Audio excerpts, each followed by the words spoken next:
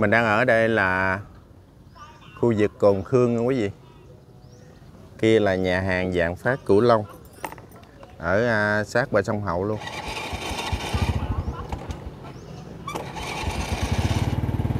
Hôm nay mình đi làm sớm quý vị.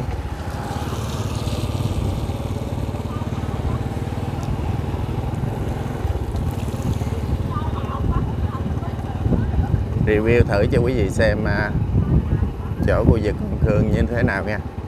Thì à, mình làm video này á, để à, mình tìm ra một cái con đường đi à, vào cái à, từ à, Bình Thủy vào trung tâm thành phố. Mà ít có bị ngập quý vị ít thôi. Nhưng mà muốn xuất phát từ cái điểm này để cho quý vị thấy. Bên Cồn Khương cũng không đến nỗi ngập nha nè cái sân của của nhà hàng dạng phát cũng ok lắm.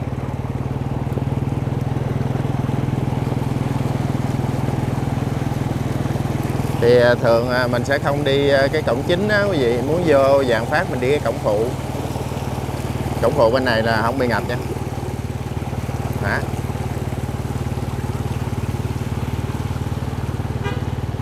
Rồi khu vực nhà hàng dạng phát thì không ngập cái tuyến đường chính cũng không có ngập luôn.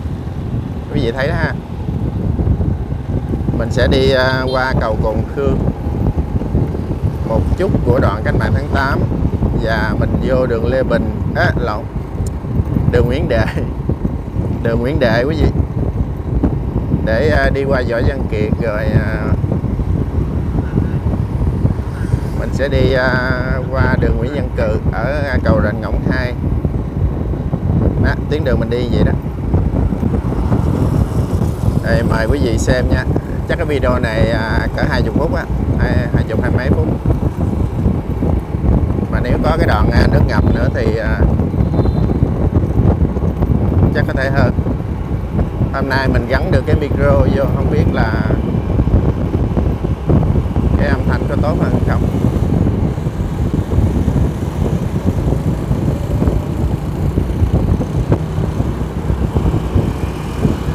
Quay à, hai cái video clip ở à, cồn cương này rồi mà chưa có phát. Tại vì à, qua đây rồi nước không có ngập. Nước không ngập rồi sao mà đăng không? Ngay cái đoạn cái đợt chiều cường này thì mình quay các cái tuyến đường ngập cho quý vị xem. Để từ từ hết nước ngập rồi mình quay mấy cái tuyến còn lại à, mình đăng mấy cái tiếng còn lại nhé.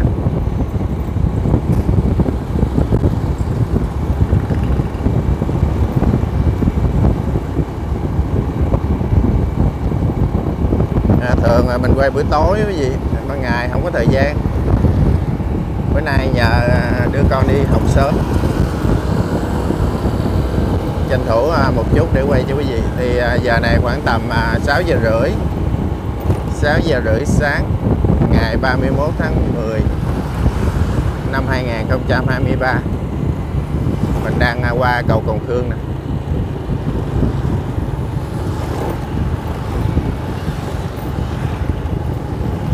Này nước à, lên từ sông quý vị có mấy cô chú à, mấy anh chị.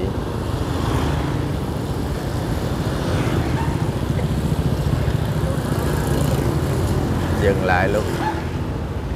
À, mình sẽ băng qua một chút cái đoạn này nha ngập dữ lắm luôn.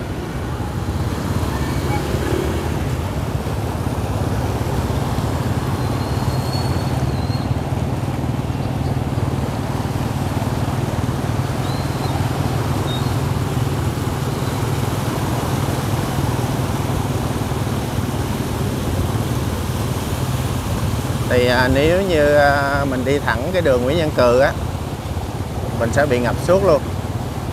Tại nước từ à, từ sông vô nè nó sẽ ngập hết cái đường Nguyễn Văn Cừ luôn.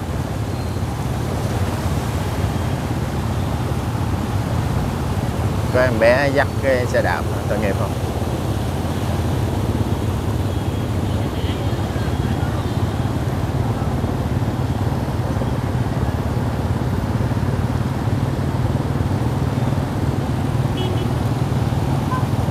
Mình sẽ rẽ phải nha, không có đi thẳng.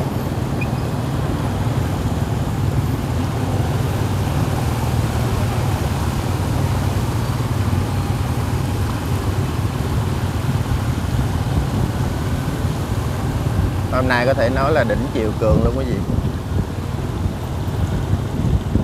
Đấy. rồi, chỉ ngập một chút vậy thôi. Mình sẽ à, đi đường Nguyễn Đệ nha. Nè đây là trường à, cao đẳng kinh tế kỹ thuật Cần Thơ nè. Mình để cho quý vị xem một số à, thông tin bên đường ha. Đây là sở tài nguyên môi trường. Rồi, tiếp đến là viện lúa đồng bằng sông Cửu Long. Ngay góc đường luôn. Mình vô đường Nguyễn Đệ nha. Bên trái của đường Nguyễn Đệ là viện lúa bên phải là nhà hàng Phi Long nổi tiếng nha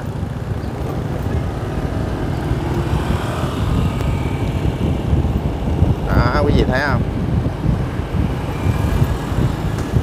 Bên ngoài ngập bình địa luôn rồi đường này khô rang. Trong cái à, mùa này nếu quý vị à, ghé vô Nguyễn Đệ à, để đi khá ổn đó.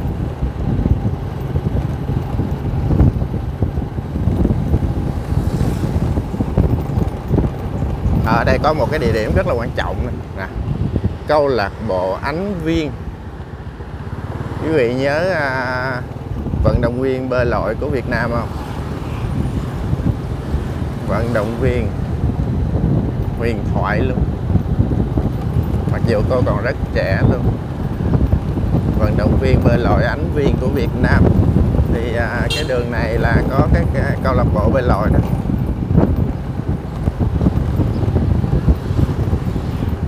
Thì à, đối với à, câu lạc bộ này sản sinh ra nhiều à, vận động viên à, đạt à, thành tích quốc gia và SEA Games về mặt bơi lội bộ môn bơi lội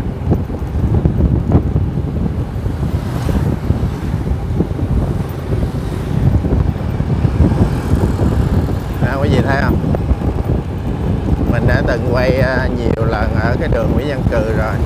Thì cái tuyến đường này nó song song với Nguyễn Văn Cừ quý vị.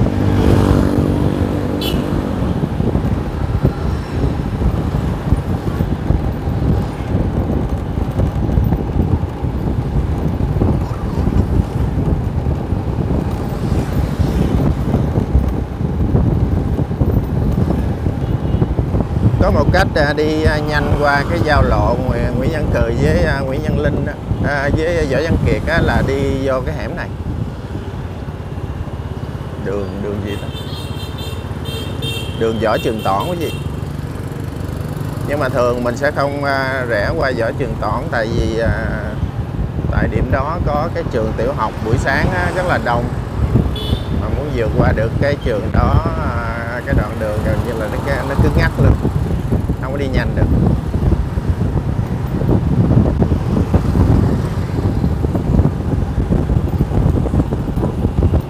Nên thường đi làm người ta sẽ đi luôn đi luôn tới đường võ văn kiệt.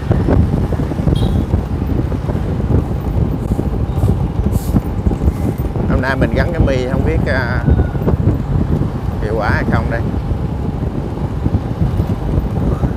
Về nghe lại mới biết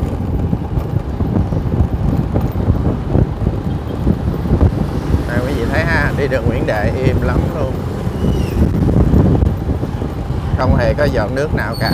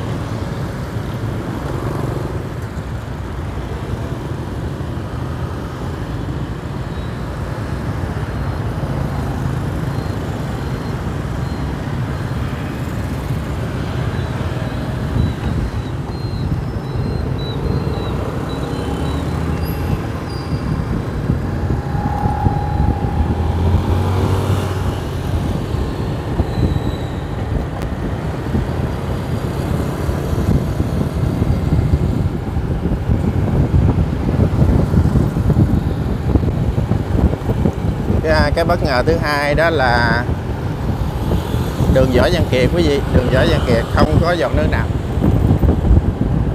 Đấy một cái điều rất là lạ luôn.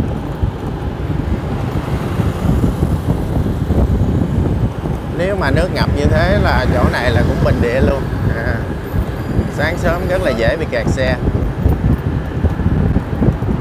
Không gài theo thông tin mình biết được có hai ba bữa nay là đường à, 30 tháng 4 bình thường là ngập dữ lắm luôn mà giờ cũng không có ngập. Cô rang nó phải có một cái cái gì đó của à, thành phố đã tác động vào cái hệ thống à, thoát nước hay sao á. Mà làm cho chỗ này không có hề có một giọt nước gì, đấy, rất là êm không? Một phát hiện rất là mới luôn.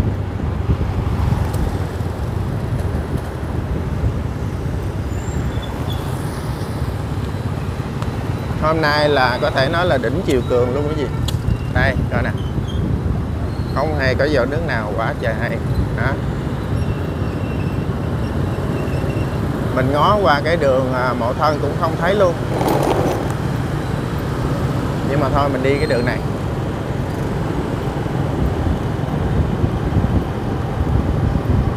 Đường này thì hồi đó giờ không có ngập rồi.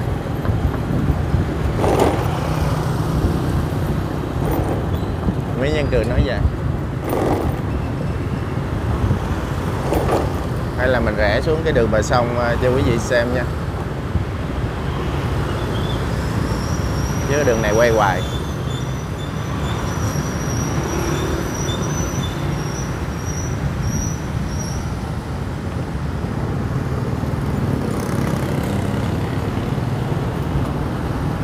Xuống à, cầu rạch ngỗng, mình sẽ đi theo à, men theo cái sông.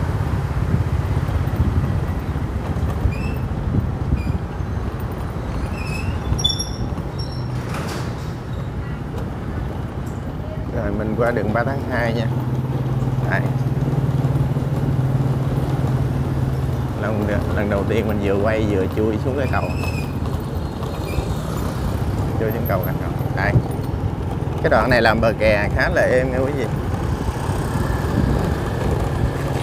Nói về khu vực này à, cái tên là khu vực lò mổ đó, quý vị là khu vực này nè. Nói khu vực lò mổ là ai cũng biết là nơi à, có cái à, cái chỗ cái trung tâm mổ gia súc của thành phố. Quý vị thấy làm bờ kè đẹp không? Quá trời đẹp luôn khu vực này.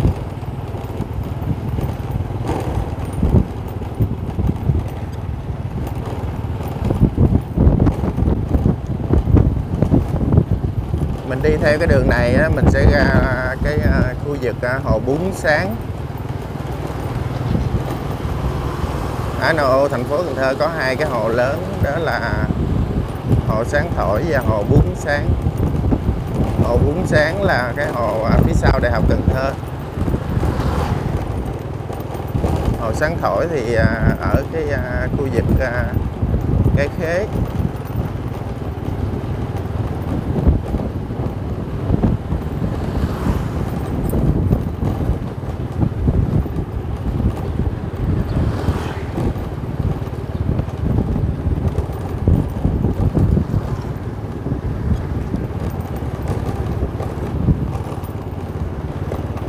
Quý vị thấy có cái điều gì lạ lạ không? Là lúc à, lũ à, nước à, chiều đang dâng cao nhưng mà cái sông này thì lại không có nhiều nước.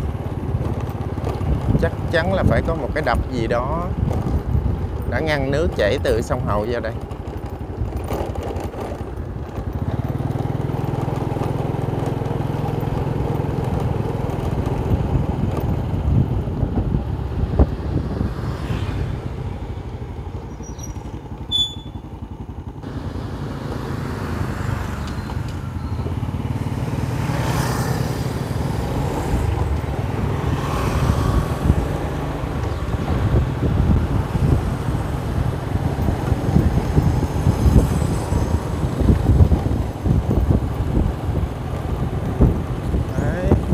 thường là cái hồ này nó ngập luôn quý vị còn không hề nha không hề có ngập luôn mặc dù đang đỉnh chiều cường nha. Mình sẽ tìm hiểu cái thông tin, rồi nếu có điều kiện mình sẽ quay cái cái lý do này phải đi tìm hiểu mới được.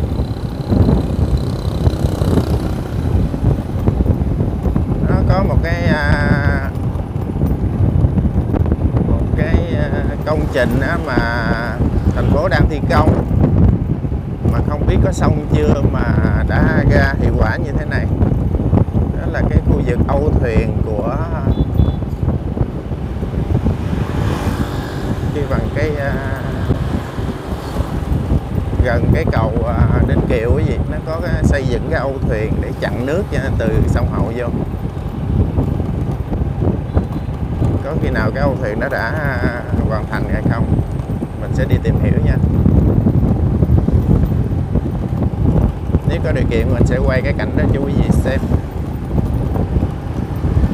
Nếu mà thành công được như thế này thì sau này mình sẽ thoát cái cảnh à, bị chịu cường.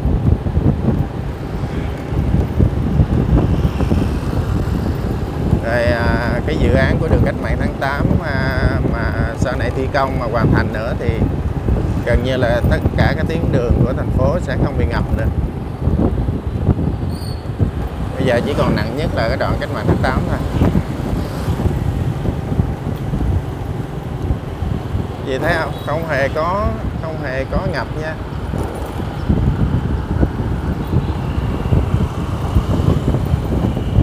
Sau này quay cái cảnh ngập là câu bộ hơi hơi hiếm rồi đó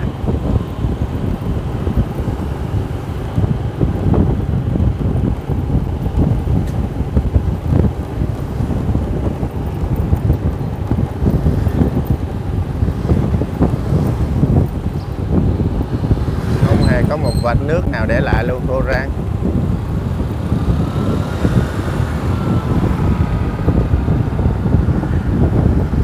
đây khu vực ẩm thực hồ bún sáng quá wow.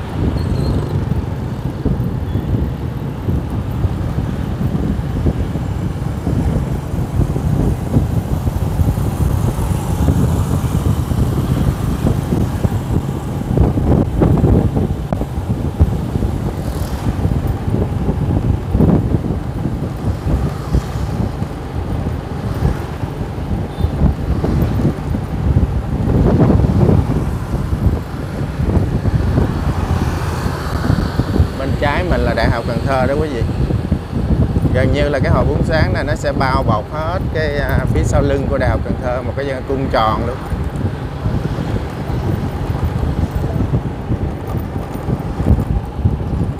Thì à, cái đường này rồi tới hồ rồi mới tới đại học, hay là cách à, cách đại học bằng một cái hồ giống như một cái đường ranh tự nhiên giữa khu dân cư và trường đại học.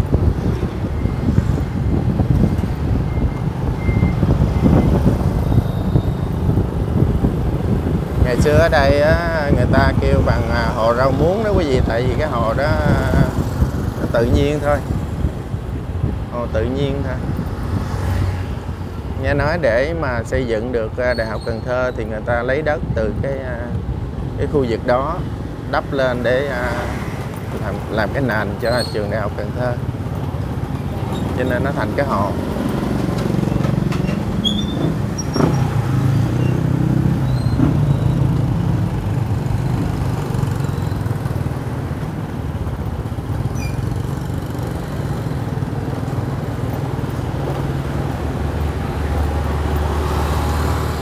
Tới đoạn này là hẻm 51 đường 3 tháng 2 đây. Rồi sắp mình à, dừng video ở đây. Hẹn gặp lại các bạn ở video lần sau nha. Rồi.